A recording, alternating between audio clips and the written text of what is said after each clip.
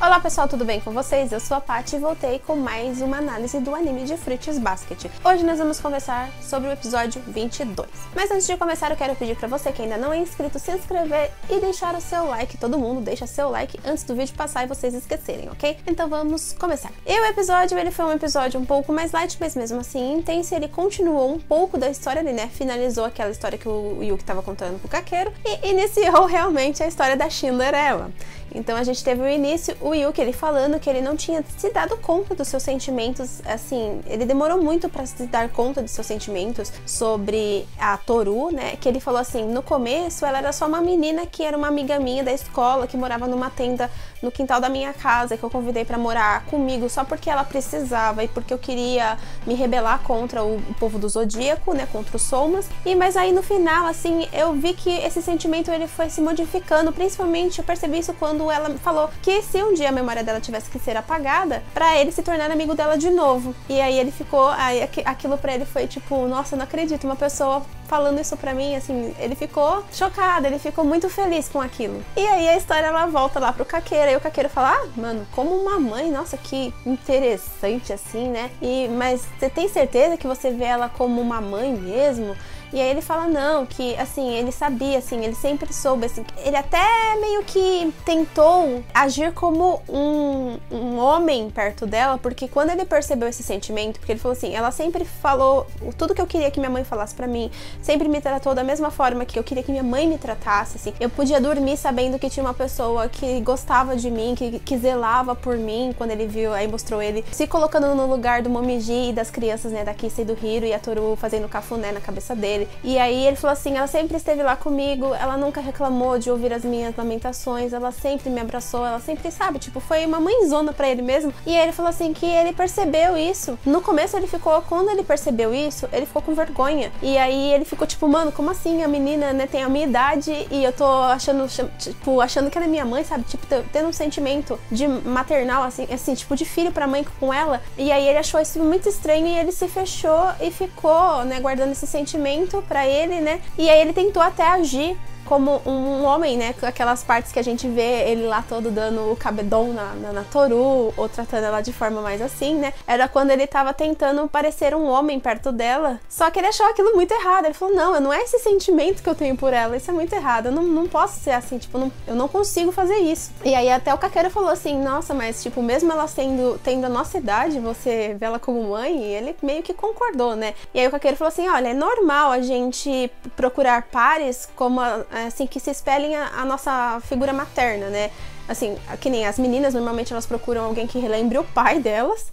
E aí os meninos procuram alguém que lembre a mãe. E aí ele falou assim: será que você não tá confundindo esse sentimento? Porque você percebeu assim que não tem como você vencer o laranjinha lá, né? O Kyo, meio que modificou na sua cabeça esse sentimento. Aí ele falou que não, que não era nada disso. Que ele sabia exatamente qual era o sentimento que ele tinha por ela, que era um sentimento mesmo de, mãe, de filho para mãe, assim, né? Que ela, ele via ela como uma mãezona, é uma pessoa muito importante para ele, mas ele não via ela romanticamente, assim, como mulher romanticamente. E ele percebeu percebeu isso quando ela foi atrás do Kyo. Ele falou assim, pra mim, ela, mesmo ela tendo nossa idade, ela parecia assim, sabe, uma mulher, assim, correndo atrás sabe? Tipo, ele viu aquela. Ele, viu ela como uma mulher, uma, uma, mulher decidida. Mas assim, ele, ele sabia exatamente que, o, que o, o, sentimento dele não era um sentimento romântico, era um sentimento mais é, fraternal mesmo, um sentimento mais de, de cuidado, um sentimento mais assim, sabe? De querer ser cuidado por, pela Toru. E ele falou: não, a gente vê que o Kyo, ele vê ela como mulher, ele vê ela como. Assim, ele, ele gosta muito dela, ele, ele a ama. E eu consigo perceber também que a Toru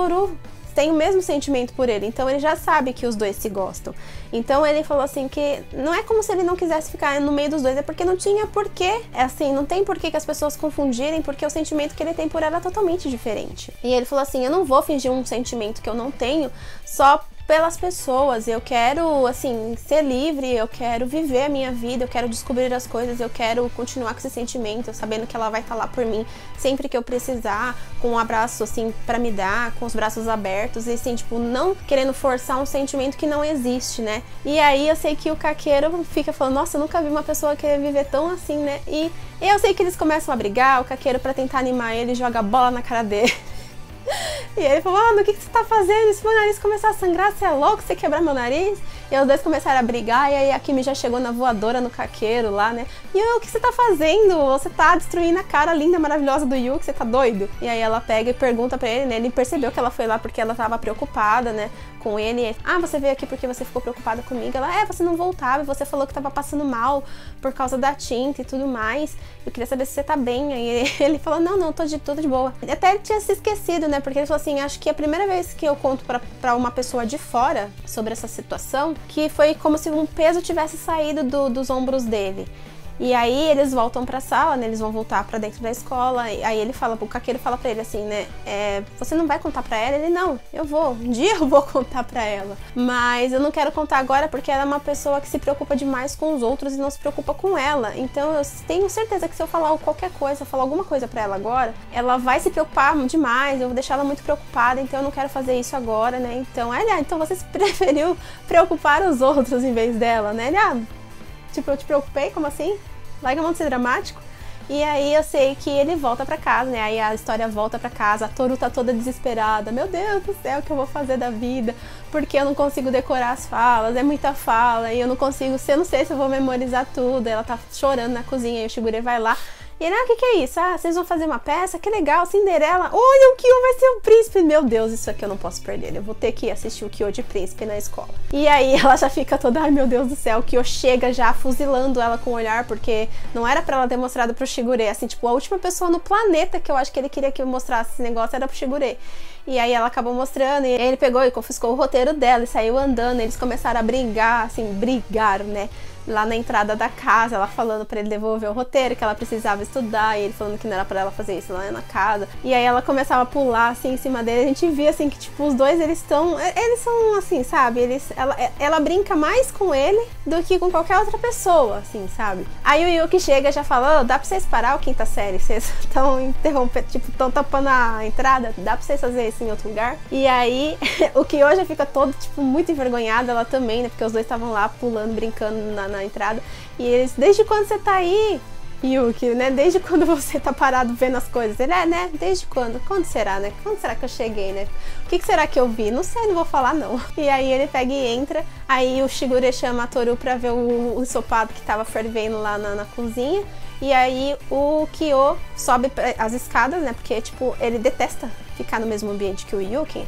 Ou ele pelo menos finge detestar. E aí o Yuki fala: Olha, sabe aquele boné? Ele tá com a Honda, tá? Eu acho que eu não preciso te devolver mais. E aí o Kyo olha com uma cara feia para ele, assim, né? Aí a Toru vem chamar eles para comer. Aí o Yuki fala, né? Tipo, que ela é muito importante para ele, que ele torce de todo o coração pela felicidade dela, que ele não vai atrapalhar a felicidade dela, que inclusive ele vai ajudar a, a, felicidade dela. Só que assim, ele quer proteger ela porque ela é muito importante para ele. E ele percebe assim, ele tá querendo é, saber qual que é a do Kyo. Porque ele sabe, assim, tipo, na mente de todo mundo ali, assim, ele sabe que todo mundo ali já sofreu. Então ele quer que o Kyo assim como ele, comece a enfrentar os seus próprios traumas para poder ficar com a Toru, porque ele não quer uma pessoa quebrada perto da pessoa que ele quer proteger, né, da mãe dele.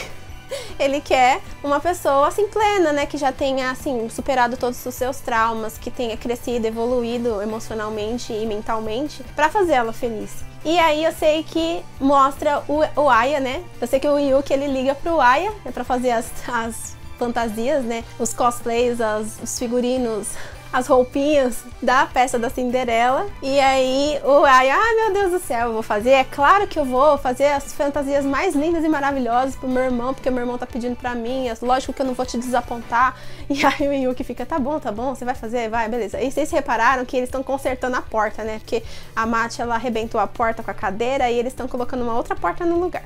Aí nisso corta pra Turu, que tá tentando ensaiar fazendo a irmã malvada, mas tipo, ela tem que falar assim: se você não costurar o meu vestido a tempo da festa do príncipe, você vai ficar sem comer. Só que ela não consegue falar isso. Ela é muito boazinha, ela pensa nas pessoas e ela não consegue. Ela fica: se você não fizer o meu vestido, você não vai comer, vai ficar sem janta. E tipo, ai meu Deus, não consigo. E ela não consegue falar assim de forma malvada. E a outra menina lá, esqueci o nome dela, ela fica lá, você tem que ser mais malvada, você não pode falar assim, você não pode chorar. E aí ela chora e a Cinderela vai lá e abraça ela, ah, eu fico muito feliz porque você tá chorando por minha causa, tipo, tudo errado, né? E ela, não, mas não é possível, porque a história não é desse jeito. Vocês têm que fazer com mais afim, vocês têm que estudar mais, vocês têm que decorar as falas, que não sei o que lá. Aí o Yuki chega, nossa, você é muito, assim, você tá muito dentro do, né, né, você tá muito empenhada em fazer dessa peça um sucesso. E aí ela fica toda nossa, ela fica completamente traumatizada, porque ela não queria jamais que o Yuki visse esse lado dela, né? De ela brigando com as outras pessoas. E aí ela sai correndo, né? E aí a menina fala, mano, esse negócio tá tudo errado. A menina que tá responsável pelo roteiro da peça, né? Ela fala, não, não é possível, velho. Esse negócio tá tudo errado. Eu acho que eu vou fazer outro roteiro, né? Os personagens não estão se encaixando nessa história. Então a gente tem que fazer a história se encaixar nesses personagens. E eu vou escrever tudo de novo. Aí rasga lá o roteiro. E aí ela fala, beleza, eu vou tentar fazer o personagem se encaixar com cada um. E aí o povo fica achando muito errado, né? Porque a Turu ela fala, então, se você vai é, refazer o roteiro por causa do, dos personagens, que tá tudo errado, que ninguém aqui se encaixa nos personagens, por que, que você não tenta fazer um, um príncipe também que se encaixe no Kyo? Até porque, se você fizer isso, possa ser que ele venha mais vezes pros ensaios, né? Porque do jeito que o príncipe tá ali, provavelmente ele não tá se identificando, né, com o jeito do príncipe. Então ela fica preocupada, ela fala, se você fizesse isso, talvez ele aparecesse mais, ele conseguisse ensaiar e tudo mais. E todo mundo fica só olhando, assim, né, percebendo que ela tá toda preocupada com o Kyo. Aí a Arissa, ela fala, ah, não, por favor, eu queria ver ele aqui ensaiando desse jeito pra morrer de dar risada. Vocês estão estragando meu barato. E aí eu sei que ela vai modificar. E antes disso, a Turu, ela fala que ela tinha que dar o seu melhor, até porque ela não podia estragar o, o, o, trabalho, assim, né? Todo, todo o empenho que o Aya ia ter em fazer as fantasias, né? Porque ele foi lá, tirou a medida de todo mundo, chegou lá, meu irmão, não sei o que lá, cheguei pra, pra medir todo mundo, vamos lá, que tempo é dinheiro, vai, todo mundo façam fila, mostrem suas medidas, me falem suas medidas. E aí, todo mundo, quem é essa pessoa, né? Quem é esse doido que chegou aqui? Aí ele fala, nossa, não precisa falar desse jeito, é, é, Nissan, Nissan, acho que ele fala Nissan, não sei. Irmão. E aí todo mundo, meu Deus, é irmão do Yuki, como assim? E aí eles vão lá, e aí a Mine pega, né, e começa a falar com as meninas, porque ela não pode ver menininha bonitinha que ela já quer vestir, né, já quer fazer fantasia, já quer fazer vestido e tudo mais. E aí a Hannah fala pra ela, olha, eu espero que você faça meu vestido um puro breu, sabe? Tipo, preto, um preto, sabe? De puro breu. Ela, ah, sei, entendi. Puro breu, beleza. Já tô até que imaginando, assim, o vestido maravilhoso que eu vou fazer pra você, né? E aí a Toru, ela ficou toda preocupada porque ela precisava se esforçar para essa peça ser um sucesso também, até por causa dos esforços de outras pessoas. Aí a Toru, ela pega e fala que ela vai procurar o Kyo para ele se juntar ao pessoalzinho lá da peça, né? Para explicar que o roteiro vai ser escrito novamente.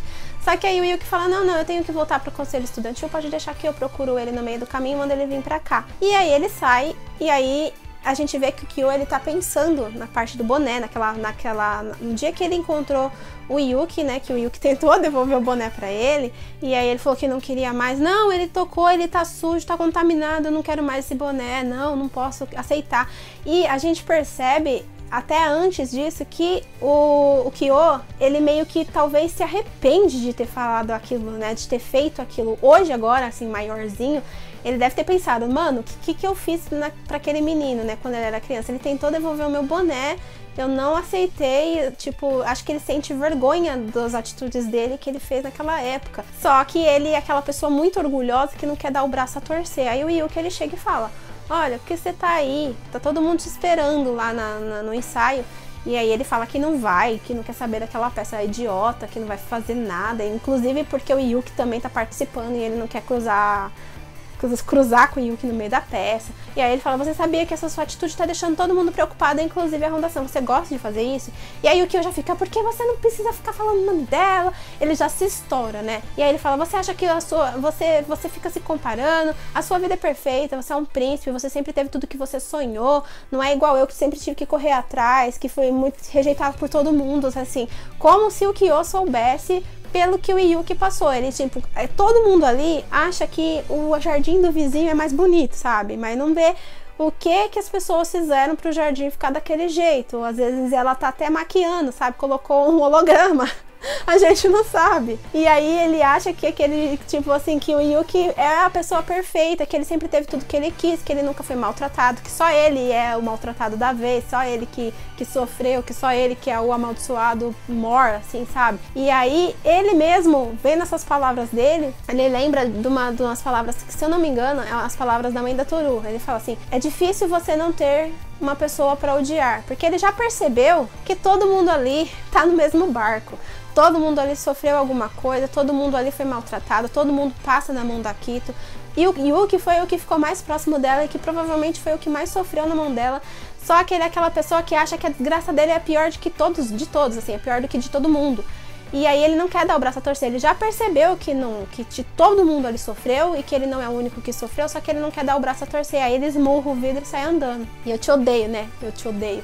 Odeia bosta nenhuma, né? Mas tudo bem. E aí o Yuki ele fica lá parado. E aí duas meninas do primeiro ano vêm falar com ele, né? Porque vem ele parado na escada. A Yamaguchi, eu acho que é isso, e a Mate. E aí ela fala: Ah, é, oi, o que, que você tá fazendo, senpai? Né? O que você tá fazendo aí? Ele, nada não. Ela vê a janela quebrada. O que aconteceu? Nada, não foi nada não. Aí ele, ah, eu sei que sua sala vai fazer um bazar, né? Tal. Ela, ah, da sua vai fazer Cinderela, que lindo, né? Mal posso esperar para ver a peça, né? Uma pena que você não vai ser o príncipe da peça, né? Porque só você caberia caberia no, no papel de príncipe. Não é verdade, Mate? Ele não é o príncipe perfeito, né? E aí a Mate fala que não. Não, ele não é um príncipe. E sai andando. Ela tem um jeito muito estranho, né? Mas ele fica chocado. Ele fica assim, tipo. Aí você vê que ele fica. Como assim, velho?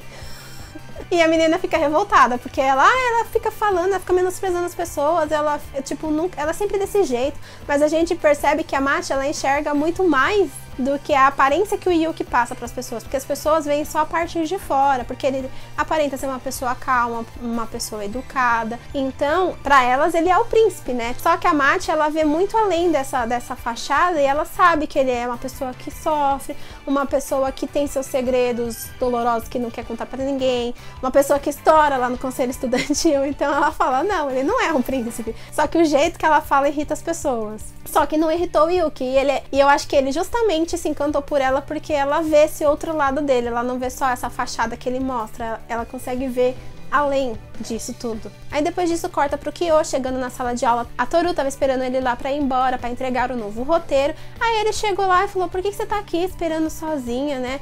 E aí ela: "Não, as meninas refizeram o roteiro, elas modificaram seu papel, elas deixaram mais fácil para você interpretar, inclusive para mim interpretar também a minha a minha personagem, porque eu era uma, um desastre, né?" E aí ela falou assim: é, "E deixaram o seu também mais fácil, por que, que você não lê? Agora você pode aparecer nos ensaios e tudo mais." E aí ele perguntou para ela o que que ela sentiu assim, o que que ela tava pensando enquanto ela tava esperando. Só que ela não respondeu, ela meio que desconversou. Tipo, ah, não, então, ou o roteiro, não sei o quê.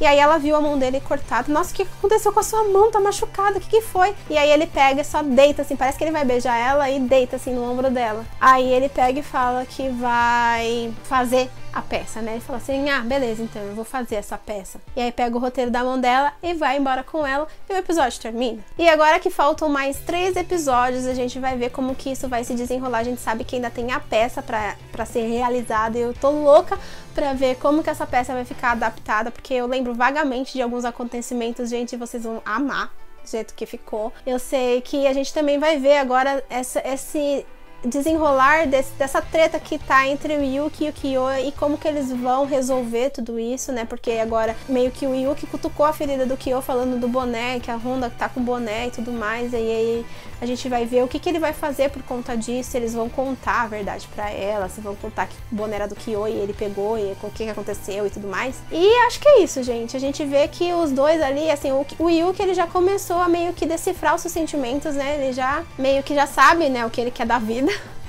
ele tá aprendendo, mas ele já tá focado, né? Ele, ele falou assim, ó, eu quero, eu quero viver, eu quero aprender, eu sei o meu sentimento pela Honda, eu sei que eu quero ficar lá no conselho, eu sei que, sabe, tipo, tudo isso tá fazendo eu crescer, ele sabe, ele sabe o que ele quer. E tipo assim, ele já falou com todas as letras, eu queria que o Kyo fosse meu amigo, infelizmente isso virou inveja, mas eu talvez, se ele, se ele me permitir, a gente possa tentar consertar tudo isso, né? Mas eu sei que isso vai levar um tempo. Agora, o Kyo ainda ele precisa meio que aprender a organizar os sentimentos. Ele já sabe que ele gosta da Toru. Só que ele tem, o me tem esse medo de ser confinado e ele tem essa rixa com o Yuki. Ele tem que perceber que todo mundo ali sofreu e não só ele. E que não é culpa de ninguém né, que a culpa é da maldição. E ele tem que se esforçar mais para tentar entender essa maldição, talvez quebrar essa maldição, ajudar a Honda a quebrar essa maldição e fazer as pazes com o Yuki, porque tipo, os dois sofreram iguais e não precisa ficar essa briga de gato e rato, sabe? É isso que eu acho. E no próximo episódio, intitulado Algo como a Cinderela, ou Cinderela, a gente provavelmente vai ter ou um ensaio, ou provavelmente já vai ser a peça em si que a gente vai assistir. E eu estou esperando ansiosamente por esse dia. E é isso, eu espero que vocês tenham gostado. Se gostou, deixa aí um comentário. Não se esqueça que agora você pode se tornar um membro do canal clicando no botãozinho aí embaixo ou no link na descrição. Aí você vê as recompensas e ajuda se puder. Se tornando um membro, você automaticamente participa do nosso sorteio de mangás e de sorteios exclusivos também que a gente vai realizar mais pra frente. Não se esqueça também de se inscrever se você ainda não é inscrito, que eu já falei lá no começo, de deixar o seu like, que eu também já falei lá no começo, de compartilhar esse vídeo com seus amigos e também nos seguir lá nas redes sociais e na aba de comunidade, onde a gente posta todos os links dos vídeos e tudo mais. Eu vejo vocês no próximo vídeo, beijos e tchau, tchau!